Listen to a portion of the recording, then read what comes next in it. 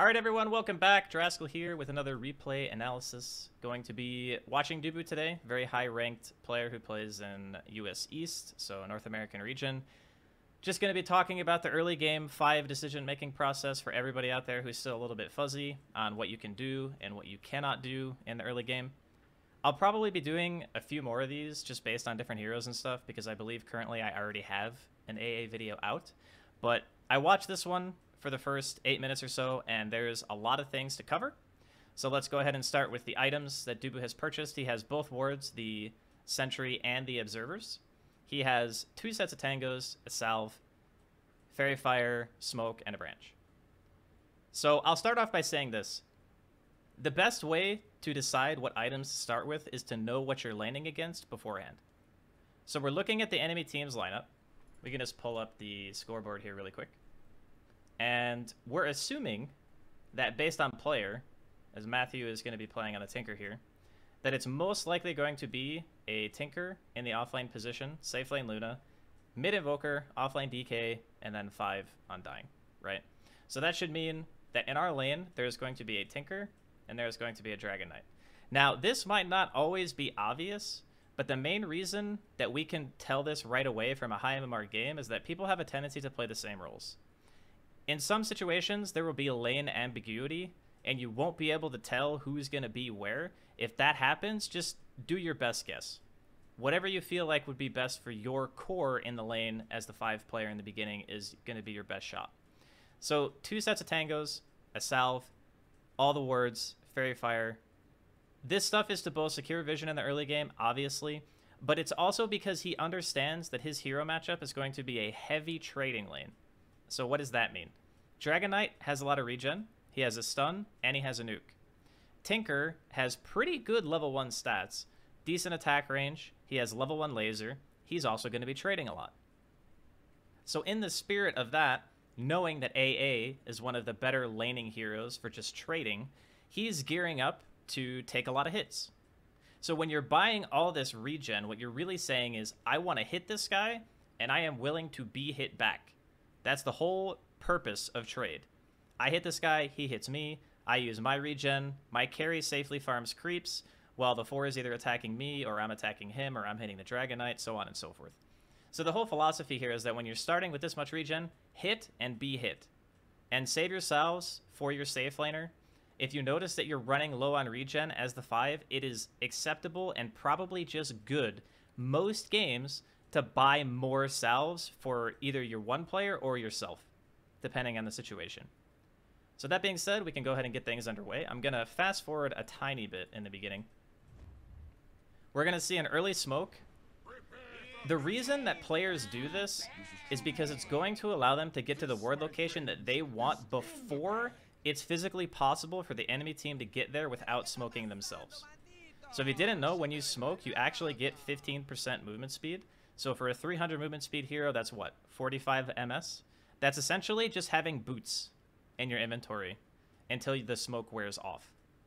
So when you get there, in this location right here where he's going to be placing an observer ward, you're trying to gather information, see if the enemy team is going for some kind of first blood or if they're going for the bottom rune, how many heroes are going to be there.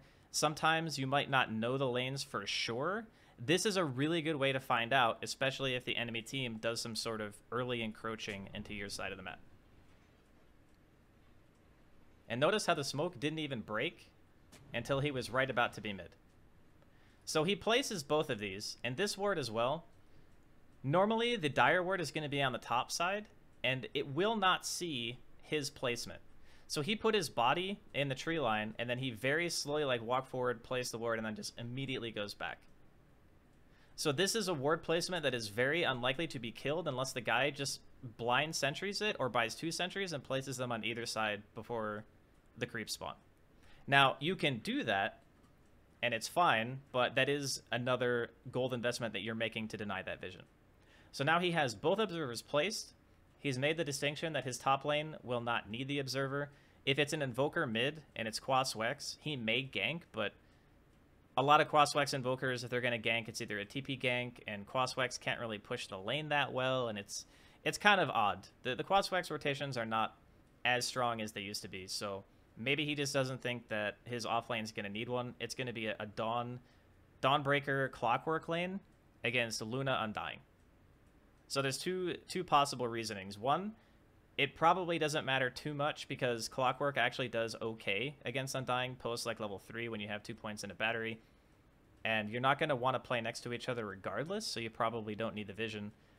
Or he just thinks the lane is probably not winnable because it's Luna plus Undying. Who knows? But either way, he has both observers here. And we're just going to fast forward a tiny bit more. We're just waiting for the runes to spawn. Not really much to say here other than just sitting on the hill. Also, that that is actually a talking point that we can cover.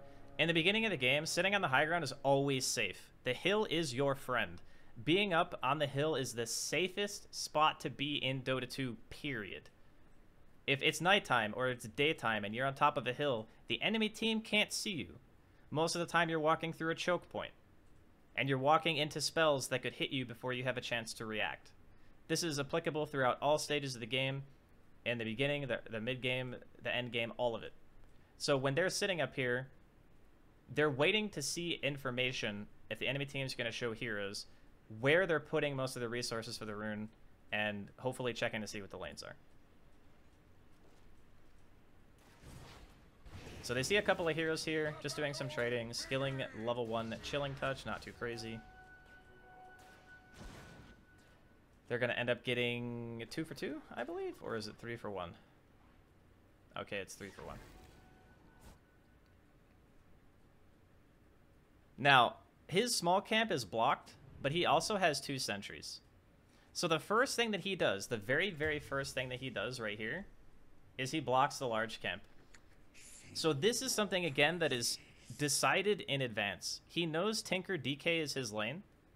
And Ursa is a very weak laner for the first few levels. Just super, super weak. I'm just going to select this hero for a second so you can see how pitiful his damage is. He does 50 damage. He has pretty good armor and he's fast, but he does no damage. 50 is, is, is nothing. His Fury Swipes at level 1, it's an 8 second reset and it's 9 damage per attack.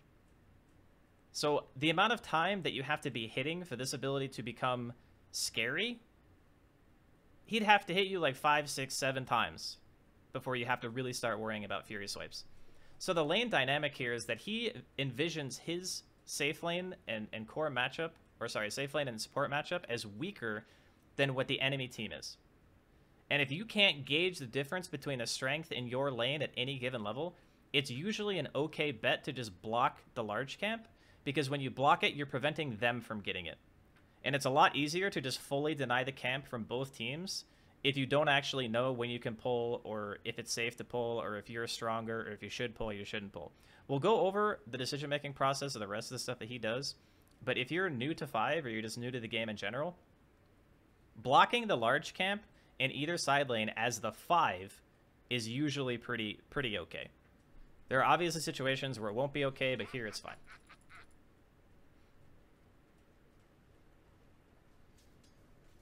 Now he's going to be standing off to the left. And you'll notice he's going to be playing on this side a lot. And the main reason why you see most players on the left side of the lane as Radiant is because there's a lot of really nice juke paths down here.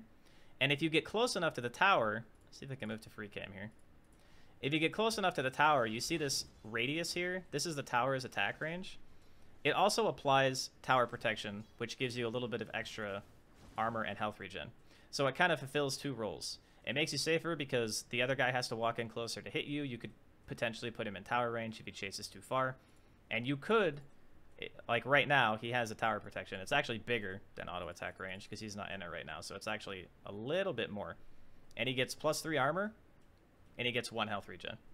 So whenever you're playing near your tower and you're hitting, you can just say to yourself, okay, this trade is, is more efficient than it would normally be for my hero. So we can see the Ursa is getting hit quite a bit here. Now notice he's not even looking at his camps right now. He is fully fixated on the lane. He's trying to get out as much damage as he feasibly can. He's not worried about creep equilibrium at all. He's trying to get the range creep. He pings it before he auto attacks it, by the way, if you guys didn't catch that. He pings the creep before he's going to auto to tell his core to time his auto attack at his auto attack so they don't get it denied. Now, it didn't work, and they didn't get it, but this is also a good habit for supports to be in, because range creeps are very, very valuable, and everyone that gets denied is a huge amount of golden experience not going your way. You can see how aggressive the enemy team is playing this. They're, they're basically just going hard on this guy. He makes sure the range creep goes to his team. He's got a salve for his Ursa if he needs it. He's to walk back. He's to salve him. Now, the Ursa didn't get out of vision there, which is... This is more of a mistake on the Ursa than I would say it is on the AA. He waited for the Ursa to hopefully get out of vision by walking behind the tree, and then he salved him. But the Ursa walked down, got back into vision, and Matthew was level 2, so he casted rockets, and he lost the salve. This kind of stuff, when it happens, is very, very bad. Because now, all of a sudden, he has to send out another salve from base. He's level 1, so his courier is ultra slow. And this Ursa only has tangos. So the main thing about having salves instead of being able to pull tangos to your core is that this Ursa no longer can contest the wave. He cannot contest the wave unless he's probably, let's say 70% health or higher, because both these DK and his Tinker Hero are going to hit level 2. Like, Tinker's already 2. And when he walks up, if he gets Dragon Tailed, Breathe Fire Laser, he might just die. Right? So when you're trying to occupy a lane, you need to be very aware of how much health your core needs to feel safe to walk up.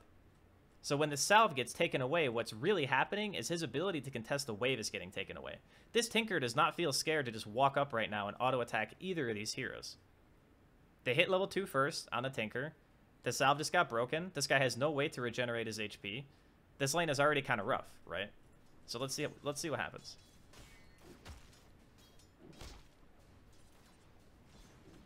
Tinker is going to be chasing the Ursa away. The Ursa walks up to the creep wave, gets stunned, gets lasered. And the rockets are just going to kill him. So, what transpired because the salve got broken was the Ursa just dies. Now, a lot of people are going to be asking themselves, well, why did he walk up to the wave? Isn't it just better to, like, not die? So there's two ways to look at it. The first is that, yes, dying is obviously not great, especially as a safe laner. But how much time does he lose sitting in the lane at 30% HP versus how much does he gain by being able to come back to the lane with more regen and full health in terms of overall CS? This is kind of a hard thing for people to kind of grasp, especially at the low level. But there are often times when dying in your lane can be beneficial because it means that your enemy is lower on resources and you can return to the lane and farm a lot more with less obstruction. Now, I'm not saying that's what's going to happen here, but at first glance, I would say that that death is probably not the worst, especially since his AA is still able to contest and soak, on, uh, soak up some of the EXP. Alright, so now... Ursa's going to be back in the lane. Ursa is still pretty low level. Not level not level 2 yet, so... Again, it's kind of hard to play aggro on this lane. And you can see now why it makes a lot more sense that Dubu blocked the camp, because he kind of... Maybe didn't envision the Ursa dying like that, but... He definitely understood the matchup dynamic is just not very good for them until later. And you notice how relentless he is with his autoing. Like, he's just hitting and hitting and hitting and hitting all the time. He actually just straight straight up gets a kill because he's just always looking for damage, always autoing. He's sending out more regen. He's even buying more regen now and another sentry to ensure that he can unblock his small camp because right now at 3 minutes it's still blocked. But he didn't prioritize it to a degree where he just left his Ursa hanging in the lane. This is actually another point that I'll cover really quickly. As the 5, your default mode does not have to be pulling oftentimes pulling will just hurt your carry's ability to hit creeps. The the old 5 and 1 dynamic was usually just I'm going to pull every single time I can no matter what in every single matchup forever. That's what everybody did for a very long time. That is not how it's done anymore. If your safe laner cannot occupy the lane, it is usually just better to be with him unless the lane is very, very far up. So this is the first point in the game where the lane has been away from the tower for any meaningful stretch of time. So now is the point where you look at it and you say, hmm, would a pull benefit me here?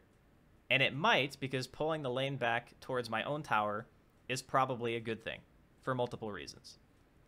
But if you're just sitting down by your tier 1 and you're trying to unblock a camp and you're trying to pull a small camp and you're not stacking it and you're not doing like a 2 or 3 pull, then you're kind of just hurting your carry. So with that being said, we will continue.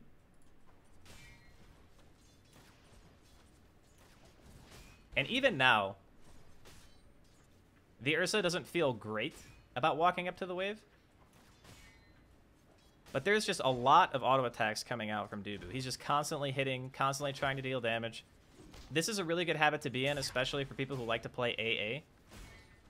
Or if you play any of the really long range auto attack heroes. He's always playing next to his core. He's just autoing. He's dealing damage.